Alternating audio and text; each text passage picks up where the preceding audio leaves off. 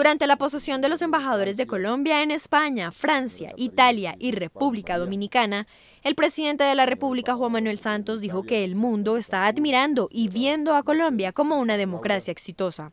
Este gobierno ha querido posicionar a Colombia en el contexto internacional, eh, darle peso específico, eh, convertir a Colombia en un eh, jugador relevante y creo que lo hemos logrado. Asimismo, el jefe de Estado destacó que siete países ya han quitado las visas para los colombianos.